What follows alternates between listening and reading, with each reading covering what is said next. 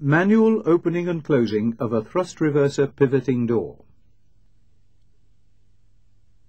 Before the manual deployment of a pivoting door, some precautions have to be taken in the cockpit. First, on the engine panel, put a warning notice stating not to start the engine.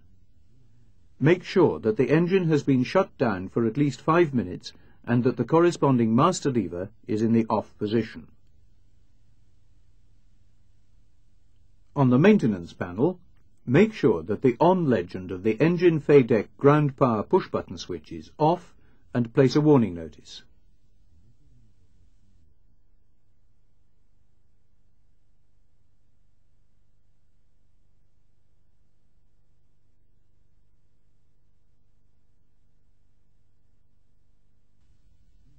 Open the fan cowl doors.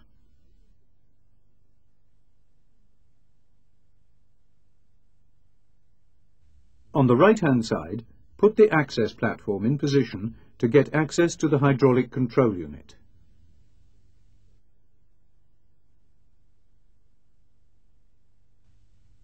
Push the hydraulic control unit lever to deactivate the thrust reverser system and install the safety pin to hold the lever in the off position.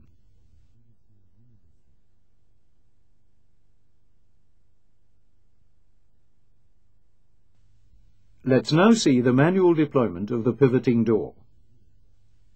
On the corresponding hydraulic latch, turn the manual unlocking knob to the unlock position.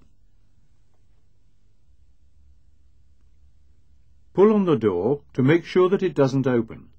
If the door opens, change the actuator. Turn the manual unlocking square on the corresponding actuator to the unlock position.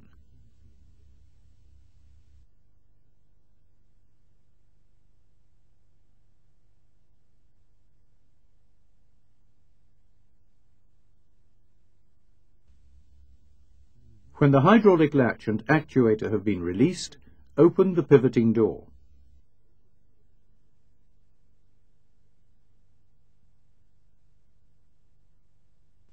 When the door has been deployed, install a safety sleeve on the hydraulic actuator rod.